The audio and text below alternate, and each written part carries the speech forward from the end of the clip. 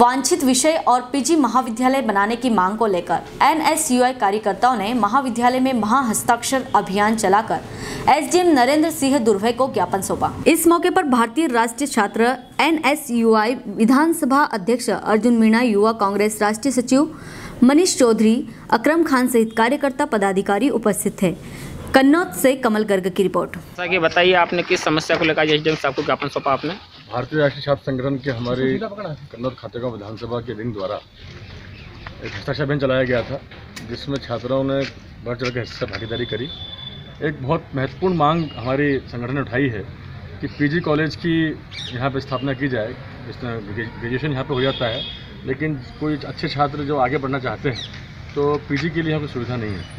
उसके लिए एक बहुत महत्वपूर्ण पहल हमारे एन के साथियों ने की है और माननीय एसडीएम महोदय को हमने ज्ञापन दिया है और इस ये मांग पूरी न होने की स्थिति में लगातार छात्र द्वारा आंदोलन की जाएँगे।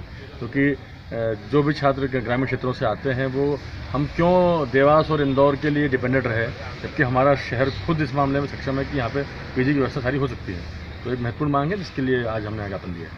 अगर आपकी मांगे नहीं मानी जाएगी तो क्या आगे और मैंने पहले कहा है कि हमारे साथी हमारे जो छात्र विंग है वो लगातार इस माम- मामले को उठाएँगे और नहीं होने की स्थिति में हमें चरणबद्ध आंदोलन किए जाएँगे। आपका क्या पद है? क्या नाम शुभ नाम? मैं मनीष चौधरी राष्ट्रीय सचिव युवा कांग्रेस।